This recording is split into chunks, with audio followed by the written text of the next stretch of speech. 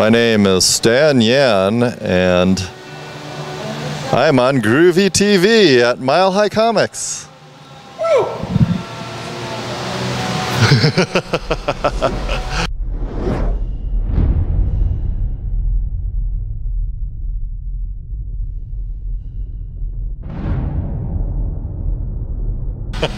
Hey, this is Groovy. I'm here with the amazing Stan Yan. We're at the Mile High Comics Megastore. How the heck you doing, man? Uh, kind of hot, actually. it's, it's brutal right now. It's like 190 or something. yeah, they could use a little swamp cooler in here or something like that. You know, moisturize all the comics. We should get like bags of ice and just wear them. yeah. That's right, the little ghetto air conditioner, right? A sw- portable swamp cooler thingy. definitely, definitely. So you got, dude, you're you're always so busy. You're overachiever of the century. You're always doing something crazy. Like, tell me what you got going on. Um, well, yeah, I, I have until this point, you know. I, I'm, you know, I always have like a million projects going on in the background, but uh, it's just a matter of, you know, how much time to work on them. So I just finished up with all of my uh, mail out commissions from the Denver Comic Con. So they're all shipped out. Uh, they should all get them if they haven't already got them by early this coming week. Okay. And, um, uh, well, all the local ones should already have their mail outs. And then I'm getting ready for the San Diego Comic Con. So in between, I'm trying to squeeze in a little bit of uh, uh, promotional stuff for my children's book. There's a zombie in the basement, which Which is awesome. I love this book. Yeah. it came out uh, earlier this year, but the official book release I'm going to make, you know, a little bit closer to Halloween time. So I'm trying to make the rounds and try to get a little bit of uh, media and blog coverage on it and everything like that, and then maybe schedule some sort of a. Uh, a book release party, maybe either in early September, early in October. Now that Mile High Horror Film Festival got postponed, How weird was that? That's kind of weird. I mean, it's exciting at the same time just because I, I know that they were kind of uh, stifled by their limited space. So, you know, once they get the new location opened up, uh, hopefully that'll, you know, make it a bigger and better event. you know. Yeah, I mean, I'm really excited for it, but the, you know, like, you know, my first post on the Monday after Denver Comic Con was, okay, now it's time to focus on High Horror Film Festival. Eh. Yeah. Well, but you know, I mean, your loss is maybe my gain because I, I do zombie caricatures, so you know it's easy for me to get booked out for parties. And I'm actually doing a zombie wedding this year. Uh, as many times as people have threatened to hire me to do zombie caricatures of their wedding guests at their weddings over the past few years, someone finally did it, and it's it's for sure because they you know paid me a deposit and everything like that. So That's awesome. I, I'm pretty excited about that. And when's that going to take place? Um, the funny thing is, it's on a Monday. Uh, yeah, believe it or not, it's on a Monday. You don't get married on Mondays. I'm okay with it, you know, because you know it's easy for me to fill the weekends, but that's you know leaves me open for Halloween parties and birthday parties and things like that. So Always working it, man. Always working it. Now, the um for the book release party, like, uh, where do you think you're going to hold something like that?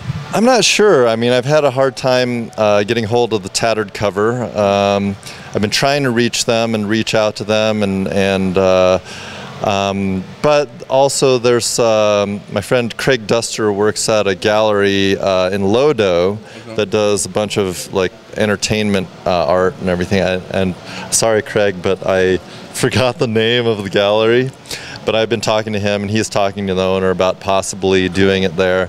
Uh, there's a couple of other locations, and maybe possibly some galleries if I want to show some original artwork or something like that. That uh, I'm toying with the idea of. So th- those are a few things I'm, I'm trying to get nailed down before uh, I go to San Diego. So San Diego is like in a week or two, isn't it?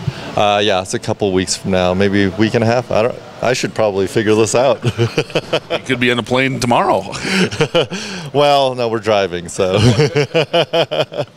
And we typically drive out there because you know you can always find a, a good hotel rate in San Diego, and then that, I don't have to worry about shipping stuff out through. Uh, you know, through the uh, union or whatever out there. It's a good haul though. It's gonna be 20 some hours, huh? uh, no, no, it's it should be about 16 hours, depending on how many car accidents and wildfires we run into this year. The wildfires to a minimum.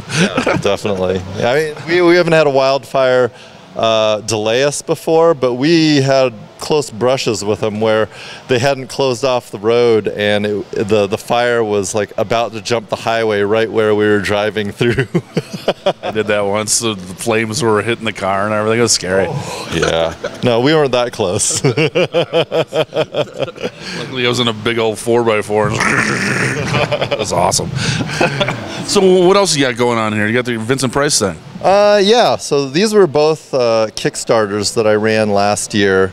And, you know, one of the things that, you know, if you want to do any sort of a post mortem on the Denver Comic Con, which unfortunately was my least uh, profitable one to date, um, was it seems like year after year, big conventions like the Denver Comic Con, which are kind of built around celebrities and pop culture and not necessarily comics, um, there are fewer fewer readers, you know? Okay. And so the hardest place I found to sell an actual book is at a comic convention. You know, I sold a case of, of uh, these books at uh, Walker Stalker Con in Denver, which Yeah, is you were slam busy at that. I, I couldn't even like. You were so busy. I was just like, ah, I'll leave Stan alone, which was good, which was good. Um, and you know, and the funny thing uh, after that con, and I don't know if it was that one or Walker Stalker in Chicago, was I, I got. You know, normally I, I've got books that I self-publish on CreateSpace, and it's all my back issues and things like that.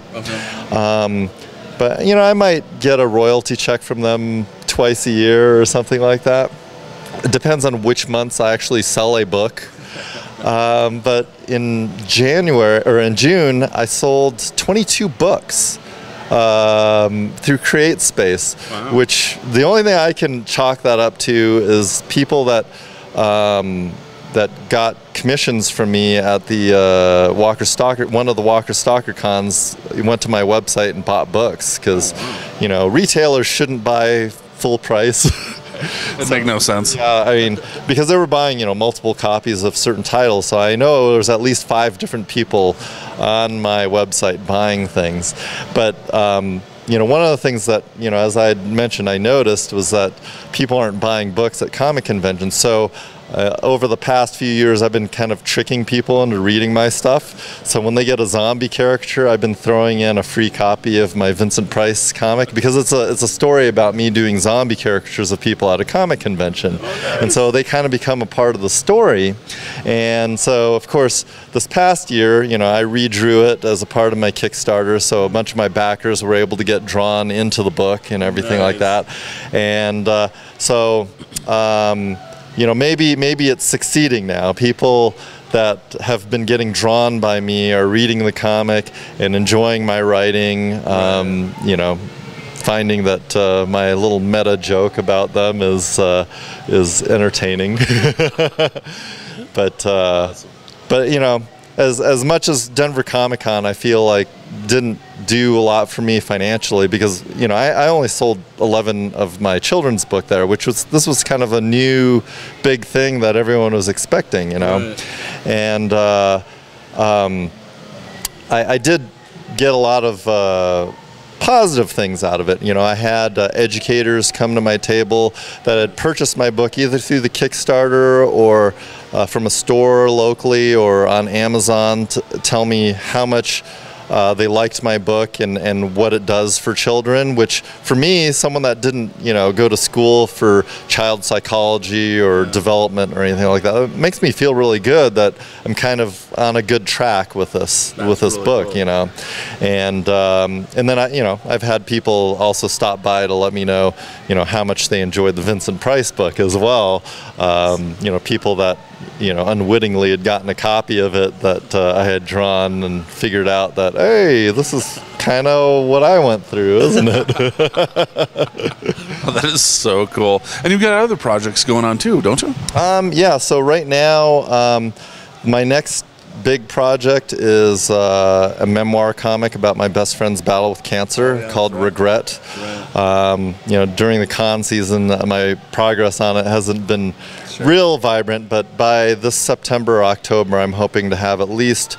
Uh, you know 24 to 32 pages of it uh, completely drawn. The, the script is is completely done and everything like that. But I'd like to have at least a, a saddle stitched book to take around with me to help promote the entire you know 100 page graphic novel that will be coming out. Um, hopefully next year. That's that's my goal is by the end of 2017 to have the all the artwork completely done. Awesome. So so cool.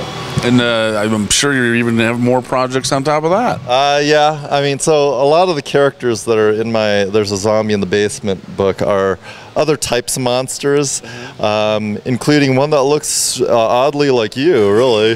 Yes. a centaur that uh, in his, this book he's he's just something that is, is one of Milo's irrational fears. But I'm an irrational fear if I've ever met one. that's right. You don't even need to puff up, right? Puffy already. so. Um, I've been thinking about this character for a long time, ever since Harry Potter came out, and that one episode where uh, there was all those those centaurs running through the woods, and I was like, God, they all look kind of the same. They're all buff and chiseled. I'm like, where's the love for all the fat centaurs, you know?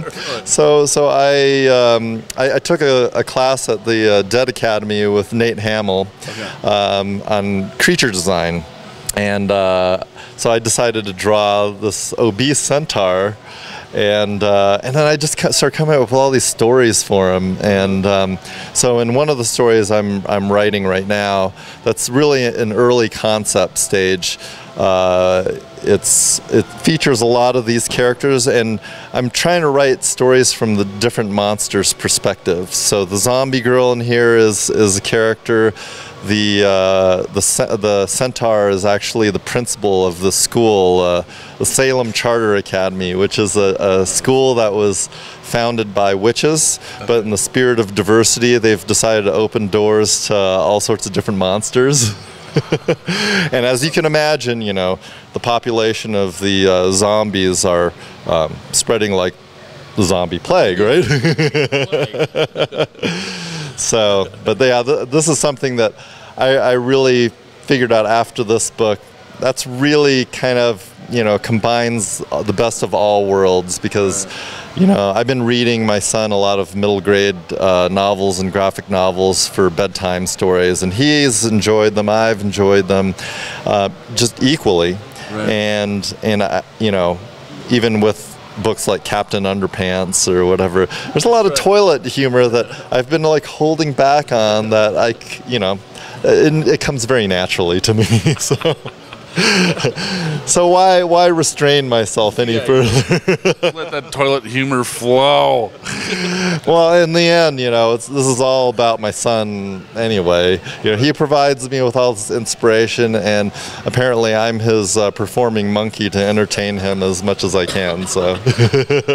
That's hilarious. So, um, for people not in town and stuff, like, where can they find you online? How do they, like, how do they order your stuff? And can they send you pictures to get zombicatures and Yeah, stuff? yeah. You can go to my um, uh, website, which is stanyan.me. That's S T A N Y A N dot M E.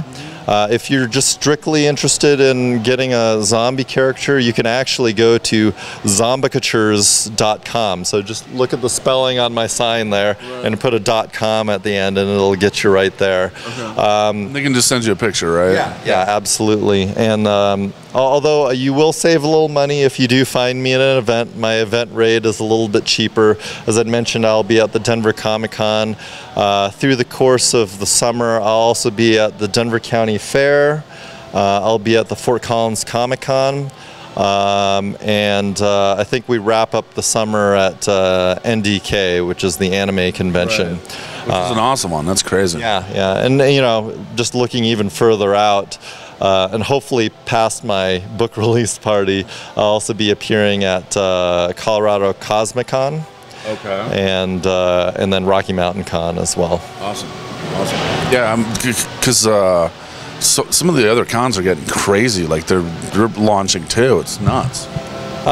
Yeah, I mean, it's a good and a bad thing because a lot of cons that I've wanted to travel to, I haven't had the opportunity because I want to support the local conventions and they're becoming so numerous.